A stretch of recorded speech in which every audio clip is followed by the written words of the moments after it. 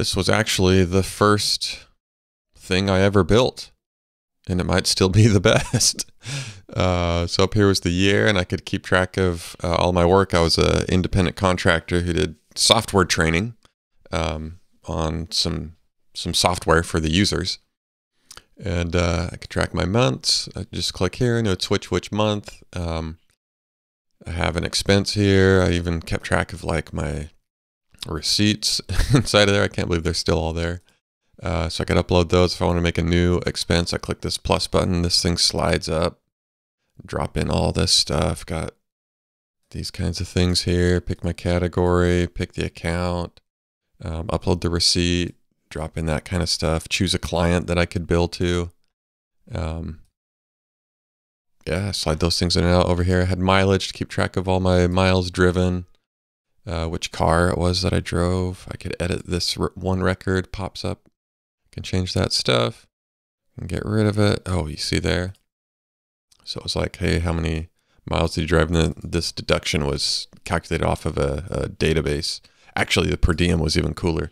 So for the per diem, I pulled down um, all of the the government's per diem and so then when I dropped a state in here like Alabama, Birmingham, it would automatically know, like if I had like three days, it doesn't doesn't show me here, but then um, when you'd pop it in up here, it would show you what the total deduction was that I could take. So like two days at 164 a day. Um, actually, I did that wrong, but still cool. Um, and then these expenses, I could look at all expenses for 2009. Uh, I could look for anything that said like fuel or rental cars. All these things were sortable by the headers.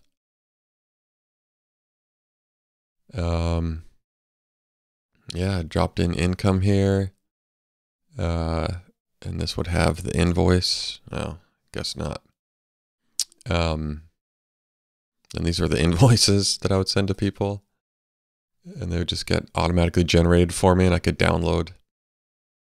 Oh, actually, yeah, this little button will take whatever is in here and it'll download it as a, base 64 CSV, which is really cool. Um, you know, and then I had this kind of stuff. All of the, uh, oh, this was cool, the billing. So here I could add a, uh, add a client here. Whoop, this would pop up. Um, so I can be like Josh. Josh. Josh at josh.com. Add the client, and then it automatically comes over here to start adding a project. Nothing. And automatically over here to add a new billable item. Nothing. Rate $100 an hour. And uh, I could record time. And then uh, sometimes I had different tax rates for what was going on.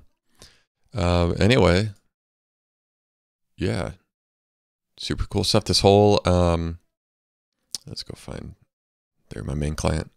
Um, so this whole thing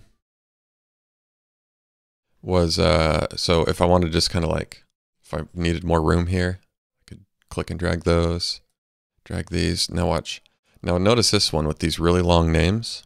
I could slide this back and then it only chops off the middle. I always loved how Mac OS did that. That was tricky stuff for a brand new programmer. um, and then this little button here, I'm going to go to like mileage or per diem um, or expenses. Whenever I wanted to just uh, focus uh, on this side, then I could click this thing, whoop, and it would just fill this whole thing up. Uh, oh, messed up my CSS up there. um, but yeah, this was uh, this was really cool. It's got a million memory leaks. I was just looking at the code, and I can already spot all of them. But uh, still pretty pretty impressive for a brand new program. I'm I'm I'm impressed anyway. I I put my blood, sweat, and tears into this thing, and this is this is how I learned to program. This was uh, this was my introduction to web development was trying to build an app like this, and I think it's kind of shaped, um, you know, everything about how I think about the web and what kinds of things uh, could be possible on the web.